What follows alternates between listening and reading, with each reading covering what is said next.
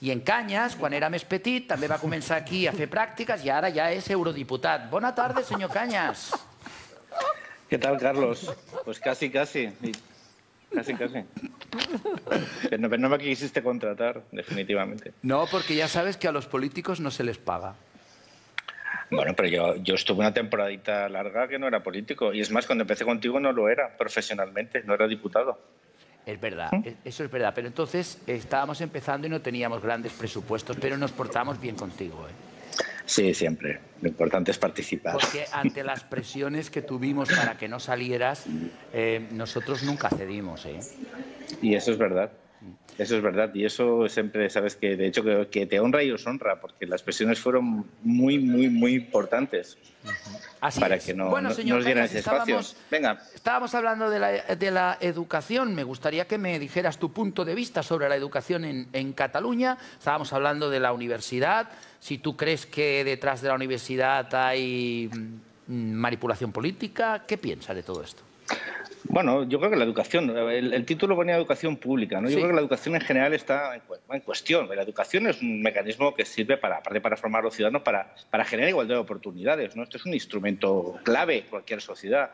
Y creo que una sociedad se define, yo siempre digo, cómo tratar a los mayores y cómo tratar la educación, ¿no?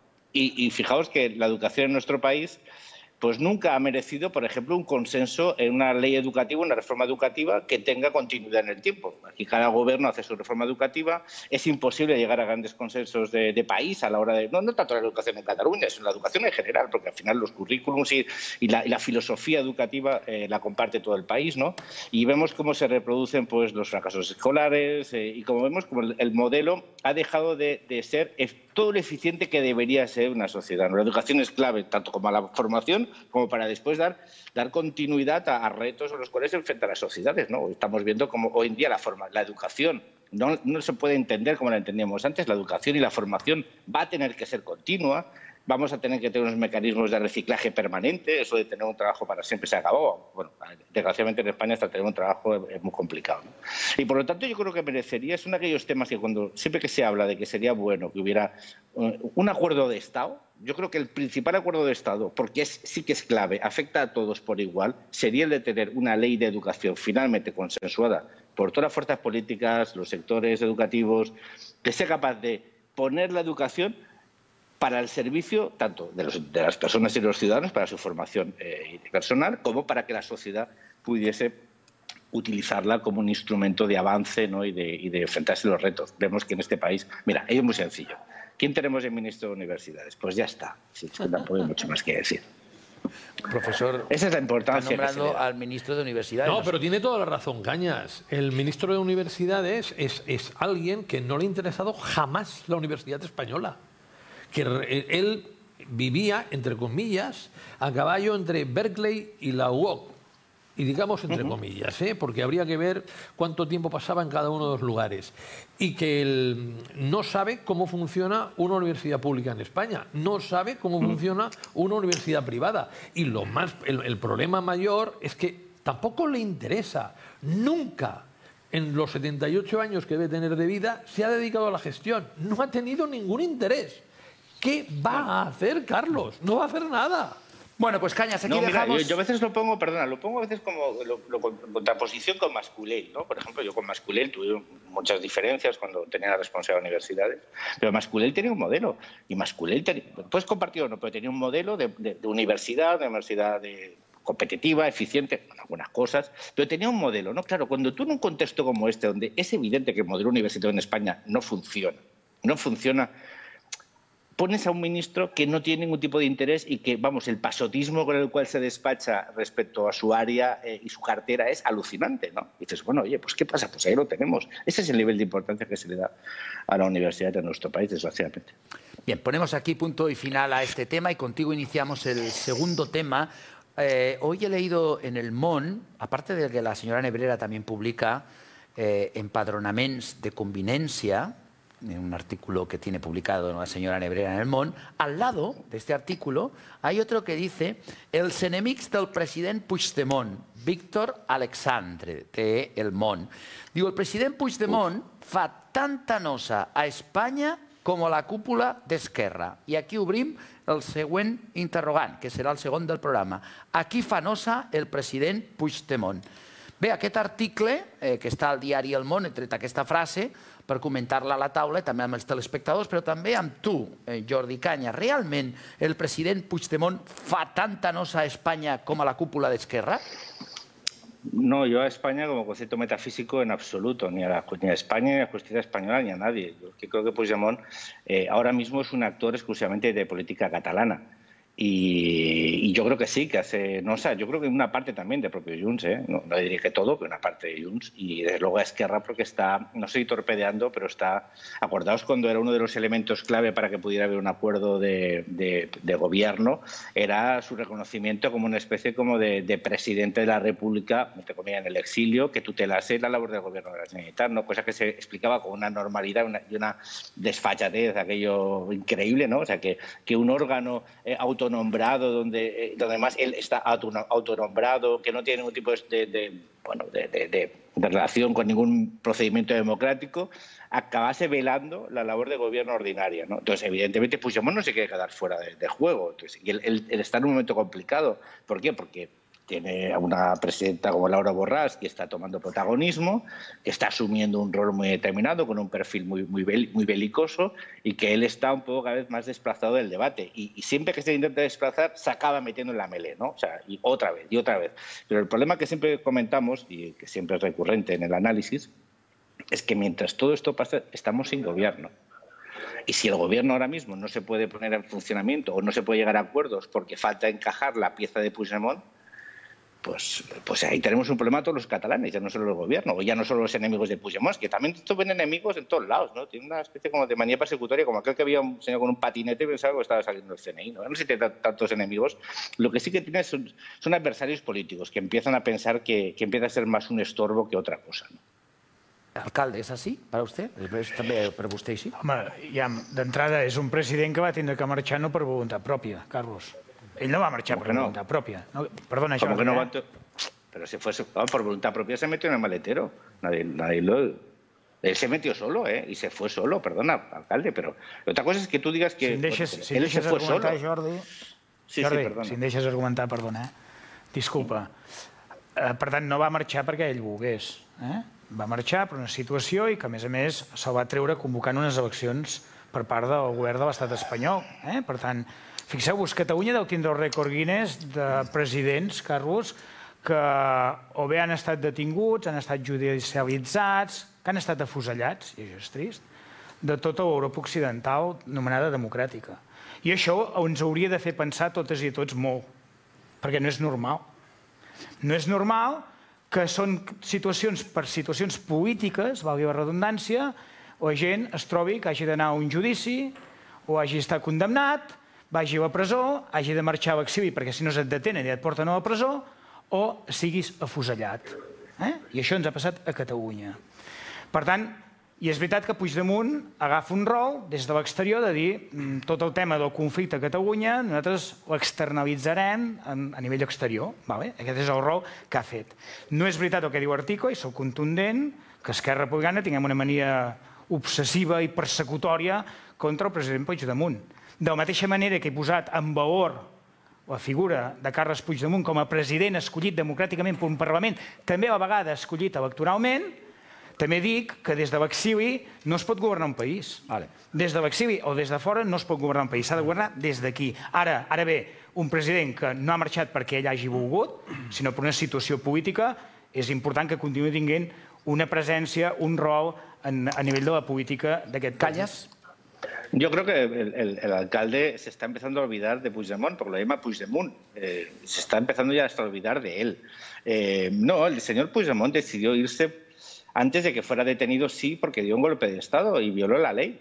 Pero bueno, por los mismos motivos que están, eh, fueron detenidos, fueron eh, juzgados y fueron condenados otros políticos de catalanes, de los cuales una buena parte del gobierno de la Generalitat, por violar los derechos y libertades del resto de ciudadanos, porque yo no sé si, si Cataluña tiene el récord Guinness de presidentes que den golpes de Estado. Lo que sí que tiene es el récord Guinness de presidentes que se creen que están por encima de la ley, que la ley no, está, no, no les rige.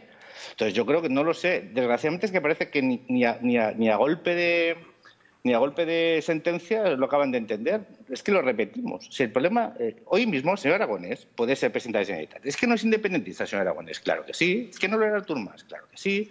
Es que no lo era. Claro que sí. El problema está en que ese señor eh, Aragonés viola la ley y viola los derechos y libertades de los ciudadanos y unilateralmente el programa de independencia de Cataluña, con lo que eso significa. O sea, eso es gravísimo. Es decir, si tú derogas la Constitución y el Estatuto, me estás derogando mis derechos y ni el señor Puigdemont, o Puigdemont, como prefieras, ni nadie puede hacerlo. Entonces, si lo hace, tiene que, como cualquier ciudadano que viola la ley, tiene que enfrentarse a la justicia. Y este, en vez de enfrentarse a la justicia, como hicieron otros que se quedaron, asumiendo su responsabilidad, cogió, se metió en un maletero y hasta Waterloo.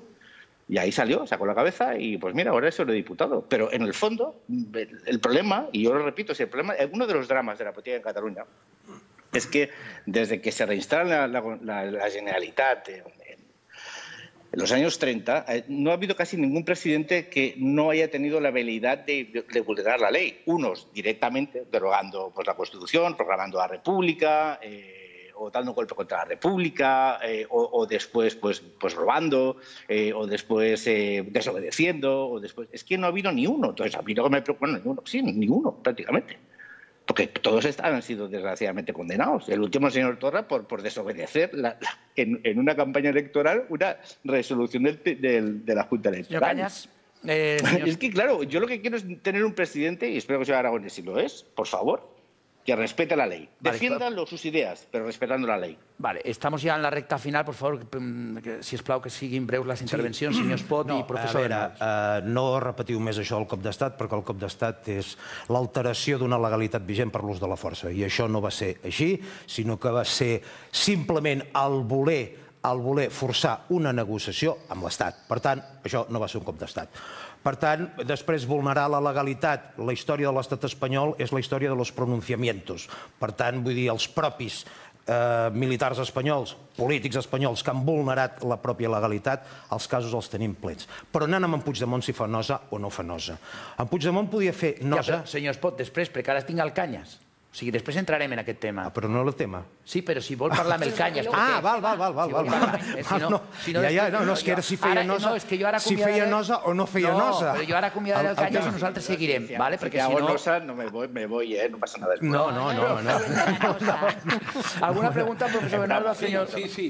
Cañas, ¿cuándo fundas tu partido? Porque Ciudadanos está enterrado, enterradísimo. Eh, el, eh, oye, y espero, Cañas, que les hayas pasado factura a la dirección del partido. Ya sabes desde, que desde aquí yo insistí mucho y, mira que hablé con muchísima gente para que tú fueras el candidato a la presidencia de la Generalitat. Y mm, bueno, dejemos, eh, corremos un, un tupido velo por lo que me dijeron. Pero yo creo que un partido, Cañas y CIA, puede triunfar en Cataluña. no, mira, Unas cañas. Los muertos, Hombre, sería, el nombre sería divertido, no te voy a decir que no. Un partido y unas eh, cañas. Sugerente, cuanto menos, ¿no? Eh, pero, pero no, no, que los muertos que vos matáis eh, gozan de muy buena salud. Nos han matado tantas veces. Yo es que esto ya lo he vivido. oye, todo el mundo al final se le agotan las vidas, no digo yo que no, pero la vida es así. ¿eh? No, hay no, no, hay partido que mil años dure, no hay, casi nada dura mil años. Eh, de momento ya tenemos 16, no tenemos ni dos, ni tres, ni cinco, y que estamos en una situación que, la superaremos seguro. Y ya lo bueno, yo menos mal que no me presenté, en vez de seis hubiéramos sacado tres.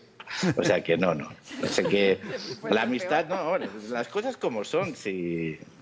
Sí, es que, oye, nada es fácil, nada es fácil. Sé que, sé que me tienes aprecio, yo a ti también, pero las cosas no son tan sencillas. Y yo ahora soy miembro de la dirección, por lo tanto ahora ya pero pasa, como yo siempre las críticas las he hecho dentro, no las he hecho fuera, me da igual que estar en la dirección o estar fuera. Yo siempre he trabajado. Yo creo que en esta vida en general uno tiene que trabajar por lo que cree. Oye, y a veces las cosas salen bien, a veces salen mal. Yo creo que estoy convencido que van a salir bien. Y el día 5, bueno, como nos veremos, esto será el martes, ¿no? El martes, pues bueno, si no sé si Carlos me invita el martes.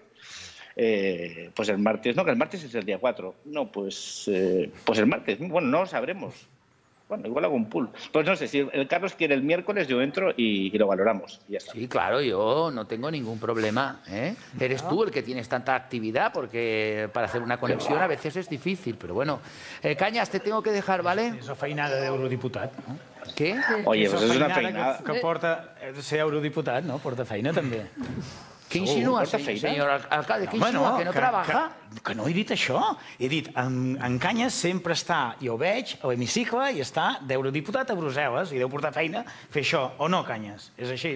Mira, es que la política, tú lo sabes, alcalde, la política depende cuando le quieres dedicar. Exacte. O que vulguis dedicar, pots dedicar Hay gente molt, que es- hay gente que es una- hay 24 gente como hores o una hora, ja està. Ja està. I- I, en Canyes, la- jo dic, la- al revés, eh? Però la- Jordi, t'ho dic a favor teu, no? Que sí. que No, no, sempre, que sí, que sí, que sí. se- sempre t'he vist connectat, quan hem parlat, que estàs a la cambra. Per tant, agrair, Sí, sí. agrair que ho Sí. facis, ja està. No, siempre no, pero ¿sabes lo que pasa? Eh, que tú lo sabes, porque tú eres, tú eres alcalde y tienes responsabilidad. Eh, Hay alcaldes que le dedican muy poco tiempo y alcaldes que dedican todo su tiempo. Y desgraciadamente, generalmente eso no suele valorarse al final a la hora de decidir el voto, cosa que es lógica también, no me quejo, ¿eh? I per pero Jordi, que Jordi, perdona, hauríem de fer pedagogia, hauríem d'explicar tot allò que estem fent. De fet, hi ha un tema No, de transparència d'explicar, perquè a vegades dona la sensació que políticament no fem res, no? I, i Jo soy- dediques, sempre- jo sé que tu hi dediques moltes hores i jo també, i per tant jo m'agrada poder-ho explicar. Vale, ho deixem aquí perquè si no trucaré a l'Albiol, que és el que més hores dedica. I No, no és veritat, no és veritat, Carlos. Ah, que no és veritat, no és el que... veritat, home, que segur que hi dedica moltes hores, però els altres també, no, no és el que més. Bueno, Com els altres, bueno. com a els altres. entre el problema del maletero del Puigdemunt, que diu l'alcalde de Sant Pere de Torelló... És la i- pronunciació que tenim a Osona, eh? Ah, Saps que va, cada lloc va, tenim va, les va. nostres Jordi i moltes gràcies. La setmana que ve fem una valoració de les eleccions eh, a Madrid. Eh, les eleccions... eh, la semana que viene espero que no, pero la otra seguro. Ah, es verdad, es la otra, sí, es verdad, es verdad, que la, que la semana que viene es la Mare de Montserrat. Gràcies, corre, mm, cuida't molt. Un abrazo. Un abrazo, un abrazo al eurodiputado. Ahora sí,